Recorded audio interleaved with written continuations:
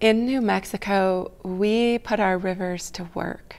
We treat them as conveyance channels for water we want to use, and we use them to dilute the waste we don't want.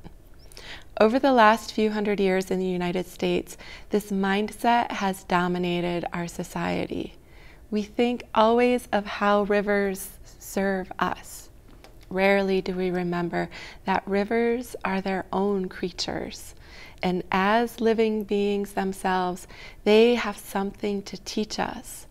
With funding from the water desk at the University of Colorado Boulder, the Our Land crew visited the Gila River, including a stretch that would have been changed forever if New Mexico had moved forward on a controversial diversion.